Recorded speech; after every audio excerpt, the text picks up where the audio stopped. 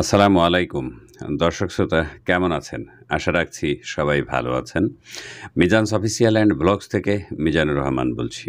Block sixty two, street view, Hajipara two, Purbachal three hundred feet part two এ পর্বে আমি আপনাদেরকে পড়ে শোনাচ্ছি বঙ্কিমচন্দ্র চট্টোপাধ্যায়ের লিখিত ফুলের বিবাহ।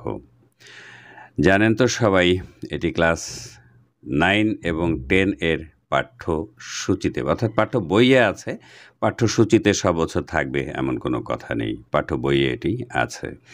নবম, দশম শ্রেণির বাচ্চারা এটি পড়লে বা এটি শুনলে উপকৃত হবেন। চলুন, শোনা যাক। বঙ্কিমচন্দ্র চট্টোপাধ্যায় ছাব্বিশে জুন আঠারোশো আটত্রিশ খ্রিস্টাব্দে পশ্চিমবঙ্গের চব্বিশ পরগনা জেলার অন্তর্গত কাঠালপাড়া গ্রামে জন্মগ্রহণ করেন। তিনি আঠারোশো আটান্ন সালে কলকাতা বিশ্ববিদ্যালয় থেকে বিএ পরীক্ষায় উত্তীর্ণ হন এবং সে বছরই ডেপুটি ম্যাজিস্ট্রেট ও ডেপুটি কালেক্টর পদে চাকরিতে নিযুক্ত হন। বঙ্কিমচন্দ্র তেত্রিশ বছর একই পদে চাকরি করে আঠারোশো একানব্বই সালে অবসর গ্রহণ করেন। তিনি পাঠ্যাবস্থায় ই সাহিত্য চর্চা শুরু করেন।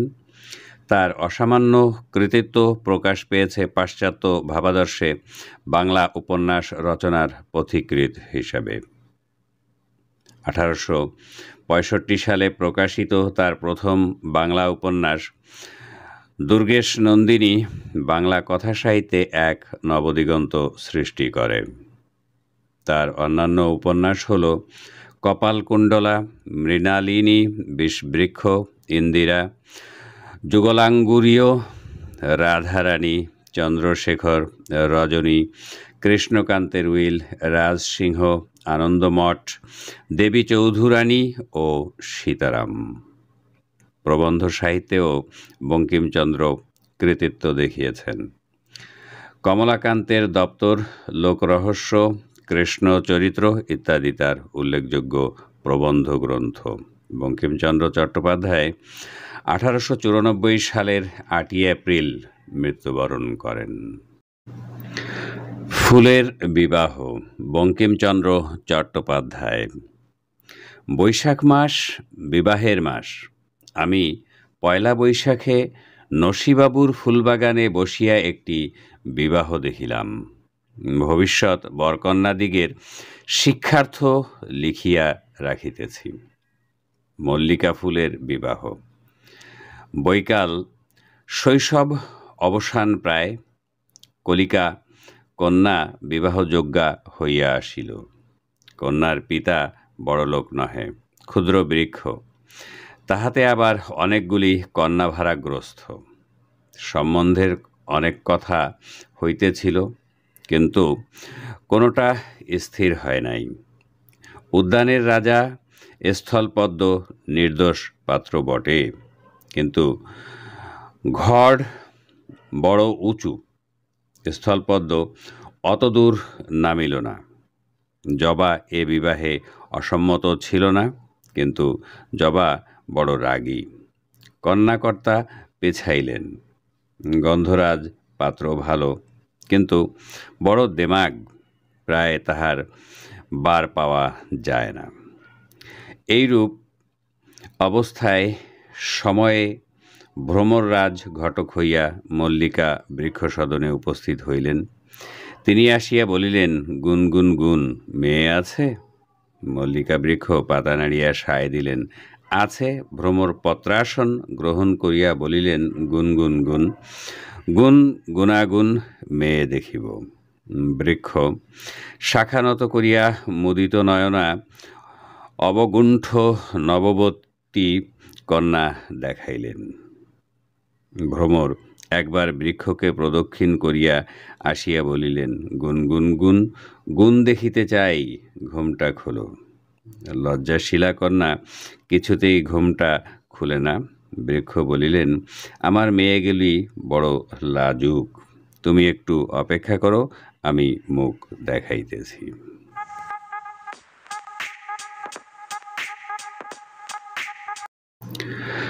ভ্রমর ভো করিয়া স্থলপদ্মের বৈঠকখানায় গিয়া রাজপুত্রের সঙ্গে ইয়ার্কি করিতে বসিলেন। এদিকে মল্লিকার সন্ধ্যা ঠাকুরানী দিদি আসিয়া তাহাকে কত বুঝাইতে লাগিল, বলিল, দিদি, একবার ঘুমটা খোলো, নইলে বর আসিবে না। লক্ষ্মী আমার, চাঁদ আমার, সোনা আমার, ইত্যাদি।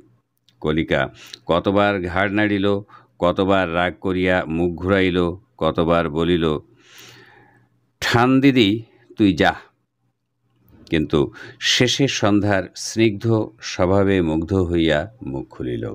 তখন ঘটক মহাশয় ভো করিয়া রাজবাড়ি হইতে নামিয়া আসিয়া ঘটকালিতে মন দিলেন। কন্যার পরিমলে মুগ্ধ হইয়া বলিলেন, গুন গুন গুন গুন, গুনাগুন। কন্যা, গুণবতী বটে, ঘরে মধু কত? কন্যাকর্তা বৃক্ষ বলিলেন, ফর্দ দিবেন কড়াইগণ্ডায় বুঝাইয়া দিবে। ভ্রমর বলিলেন, গুনগুন, আপনার অনেক গুণ। ঘট কালিটা? কন্যাকর্তা, শাখা নাড়িয়া সায় দিল, তাও হবে। ভ্রমর, বলি, ঘটকালির কিছু আগাম দিলে হয় না? নগদ দান বড়, গুনগুন গুনগুন। ক্ষুদ্র বৃক্ষটি তখন বিরক্ত হইয়া সকল শাখা নাড়িয়া বলিল, আগে বরের কথা বলো, বর কে? ভ্রমর, বর অতি সুপাত্র, তার অনেক গুণ। এ সকল কথোপকথন মনুষ্যে শুনিতে পায় না। আমি কেবল দিব্যকর্ণ পাইয়াই এ সকল শুনিতেছিলাম। আমি শুনিতে লাগিলাম, কুলাচার্য মহাশয় পাখা ঝাড়িয়া ছয় পা ছড়াইয়া গোলাপের মহিমা কীর্তন করিতেছিলেন। বলিতেছিলেন যে, গোলাপ বংশ বড় কুলীন, কেননা ইহারা ফুলে মেল। যদি বলো, সকল ফুলই ফুলে, তথাপি গোলাপের গৌরব অধিক, কেননা ইহারা সাক্ষাৎ বাঞ্ছা মালির সন্তান, তাহার সহস্ত রোপিত। যদি বলো, এ ফুলে কাটা আছে, কোন ফুলে বা কোন ফুলে নাই? যাহা হোক ঘটকরাজ কোনরূপে সম্বন্ধ স্থির করিয়া বোঁ করিয়া উড়িয়া গিয়া গোলাপবাবুর বাড়িতে খবর দিলেন। গোলাপ তখন বাতাসের সঙ্গে নাচিয়া নাচিয়া, হাসিয়া হাসিয়া, লাফাইয়া লাফাইয়া খেলা করিতেছিল। বিবাহের নাম শুনিয়া আহ্লাদিত হইয়া কন্যার বয়স কত? জিজ্ঞাসা করিল। ভ্রমর বলিল আজিকালি ফুটিবে। গধূলি লগ্ন উপস্থিত, গোলাপ বিবাহে যাত্রার উদ্যোগ করিতে লাগিলেন।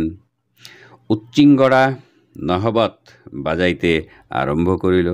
মৌমাছি সানাইয়ের বায়না লইয়াছিল, কিন্তু রাতকানা বলিয়া সঙ্গে যাইতে পারিল না। খদ্দতেরা ঝাড় ধরিল, আকাশে তারাবাজি হইতে লাগিল, কোকিল আগে আগে ফুকরাইতে লাগিল, অনেক বরযাত্রা চলিল। স্বয়ং রাজকুমার স্থলপদ্ম দিবাবসানে অসুস্থকর বলিয়া আসিতে পারিলেন না। কিন্তু জবাগোষ্ঠী, শ্বেত জবা, রক্ত জবা জরদ জবা প্রভৃতি সব অংশে আসিয়াছিল। করবিদের দল। সেকেলে রাজাদিগের মতো বড় উচ্চ ডালে চড়িয়া আসিয়া উপস্থিত হইল। সেউতি নিতবর হইবে বলিয়া সাজিয়া আসিয়া দুলিতে লাগিল। গরদের জোর পড়িয়া চাপা আসিয়া দাঁড়াইল, উগ্রগন্ধ ছুটিতে লাগিল। গন্ধরাজেরা বড় বাহারা দিয়া দলে দলে আসিয়া গন্ধ বিলাইয়া দেশ মাতাইতে লাগিল।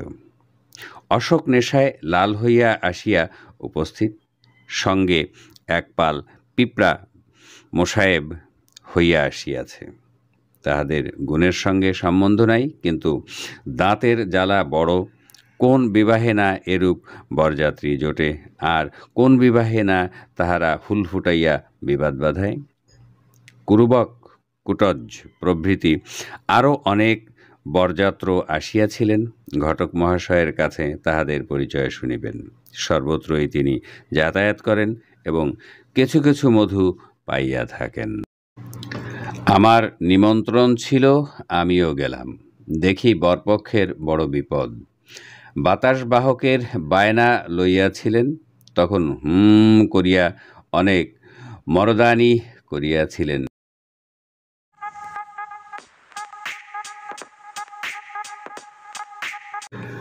কিন্তু কাজের সময় কোথায় লুকাইলেন কেহ খুঁজিয়া পায় না। দেখিলাম, বরযাত্রী সকলে অবাক হইয়া স্থিরভাবে দাঁড়াইয়া আছেন।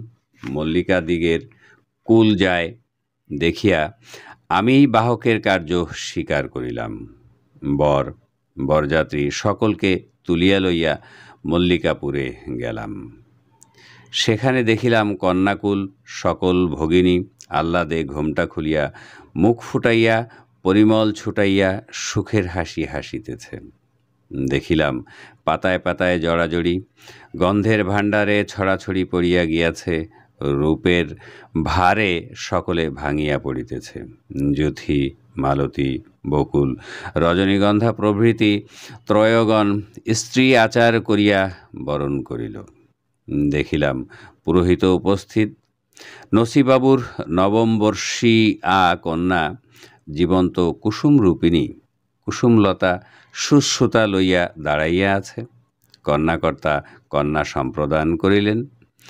পুরোহিত মহাশয় দুইজনকে এক সুতায় গাঁথিয়া গাঁট ছড়া বাঁধিয়া দিলেন।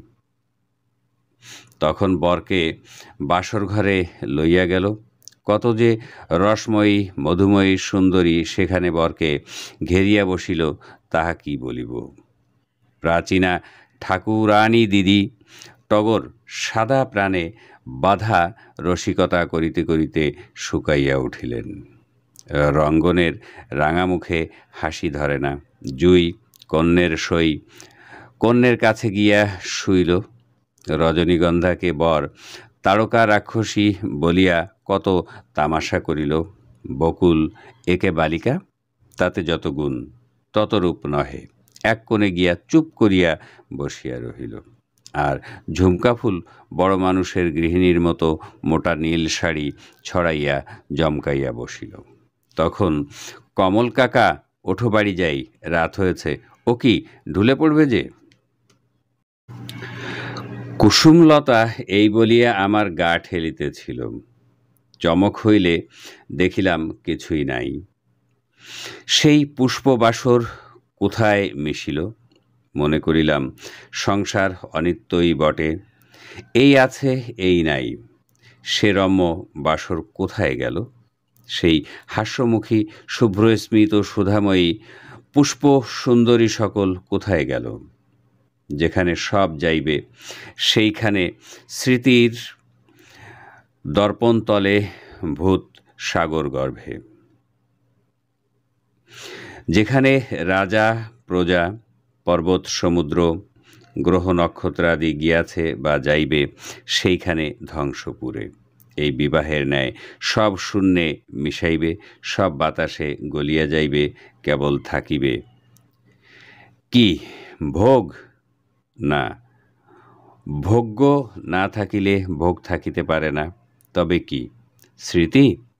কুসুম বলিল, ওঠো না, কি করছ? আমি বলিলাম, দূর পাগলি, আমি বিয়ে দিচ্ছিলাম। কুসুম ঘেসে এসে হেসে হেসে কাছে দাঁড়াইয়া আদর করিয়া জিজ্ঞাসা করিল, কার বিয়ে, কাকা? আমি বলিলাম, ফুলের বিয়ে। ও পোড়া কপাল, ফুলের, আমি বলি কি, আমিও যে এই ফুলের বিয়ে দিয়েছি। কই, ওই যে মালা গেথেছি? দেখিলাম সেই মালায় আমার বরকন্যা রহিয়াছে। দর্শক শ্রোতা, এই ছিল বঙ্কিমচন্দ্র চট্টোপাধ্যায় রচিত ফুলের বিবাহ। একটি বিনীত অনুরোধ এখনও পর্যন্ত আপনারা যারা আমার চ্যানেলটি সাবস্ক্রাইব করেননি, সাবস্ক্রাইব করবার জন্য বিনীত অনুরোধ করছি। আল্লাহ হাফেজ, আসসালামু আলাইকুম আ রহমতুল্লাহি আবরকাত